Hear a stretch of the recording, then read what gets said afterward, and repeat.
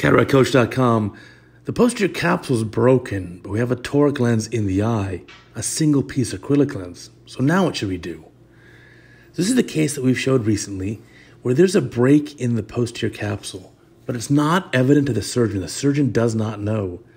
So the surgeon is implanting this single piece acrylic lens in the capsular bag, and you can see the alignment dots at the haptic optic junction. That's a toric lens.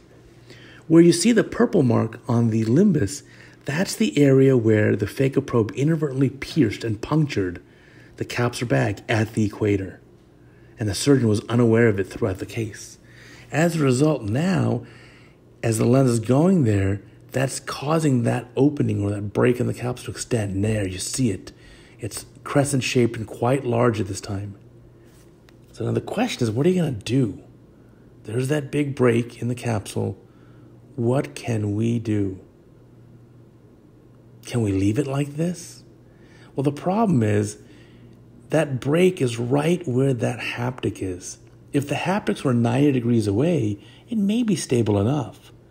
But because the break is right there where the haptic is, and this is a toric lens, the haptic has to be oriented in that direction, we're going to be in trouble here.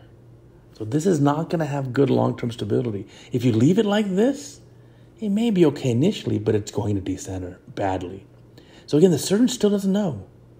So eye probe going in the eye, he's trying to lift the lens to go under it to remove viscoelastic. Well, what's going to happen? We're going to prolapse vitreous. As you're aspirating in this point, it's going to prolapse a lot of vitreous. So we don't see it just yet, but it's going to happen. So viscoelastic being removed from behind the IOL, but we're also causing a further extension of that capsular break. Ah, there you see it's even bigger now.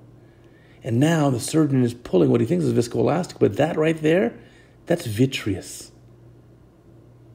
That's vitreous, right where that purple ink mark is. So now what do you do? This is the point where the surgeon is thinking. Now, this is a resident surgeon who's got good hands. And this is about 300 cataracts done under this doctor's belt so far. But what should you do here? Well, I don't think it's going to be stable enough. So you can try nudge the lens over a little bit. Remember, sometimes your first instinct is to deny that there was a problem. It's just natural instinct. You think, well, no, it'll be okay, it'll be fine. But that's denial. We have to be honest here. This is going to be an issue. So you can see there's a lot of thinking going on. Certain doesn't know what to do, trying to put some BSS in there. Probably a good choice now is to put viscoelastic. While you have the eye probe in the eye and it's infused to prevent further prolapse of vitreous, this is a really good point to put more viscoelastic in the anterior chamber. And we're going to have to explant that lens. I know it looks reasonable now, but it's not going to work. So here's another technique he did to try to keep the anterior chamber formed, and the rhexis looks good. It's tempting to leave it like this, but now you can see there we have extensive breakage of the posterior capsule. You can't leave the lens like this. It has to come out. And because it's a single piece lens, you cannot put a single piece of acrylic lens in the sulcus. So it has to be explanted fully. So first thing to do is augment with more anesthesia. Second thing is this, which is making another paracentesis and then for and widening it up sufficiently for 23 gauge instrumentation. And now the second paracentesis, which was made at the beginning, can be just slightly enlarged. So we're going to end up doing a 23 gauge bimanual anterior vitrectomy. So let's get the lens out. So there we see that's where the break is. There's insufficient capsular support, and that haptic is right at the break. And because it's a toric lens, you can't just rotate it and keep the whole thing in the bag. Plus, there is a, a significant amount of vitreous prolapse at this point into the anterior segment. So this lens has to come up. Let's lift it up out of the bag. The eye's full of viscoelastic now. So under viscoelastic, let's get this lens in a safe position up. Keep it in the anterior chamber. And we're going to explant this lens. So nice and easy bringing it up. We can also inject viscoelastic behind it. In previous videos, we have shown you our twist technique to explant this lens. This is a six, p, six millimeter single piece acrylic lens.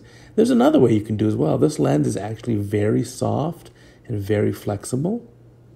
And as a result, we can actually just lift it up and we can funnel it at the incision and just pull it out of the same unenlarged 2.8 millimeter incision here.